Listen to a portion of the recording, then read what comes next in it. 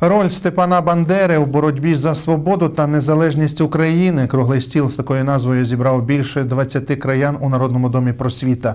Учасники заходу обговорили цікаві факти з життя Степана Бандери та його політичної діяльності. Кожна незалежна нація має своїх героїв. Степан Бандера постать, яка впродовж десятків років викликала чималий інтерес у країнах Європи.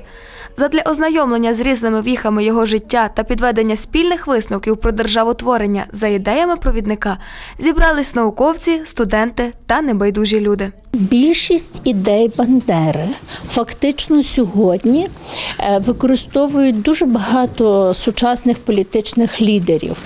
І е, сама основна його ідея е, незалежна українська держава е, це є уже. Той побудований пам'ятник Бандері цілим українським народом. Учасники заходу зізнаються, таких людей, як Бандера, дуже мало. Їх зараз бракує Україні. На жаль, та система радянська, більшовицька, вона знищила тих свідомих людей, які боролися, віддавали життя. Наша Україна, наші батьки, діди, прадіди, вони постійно воювали за свободу, незалежність. І ми хочемо це передати нашій молоді. Впродовж двох годин учасники круглого столу обмінювались інформацією та згадували про людину, яка творила нашу історію Степана Бандеру.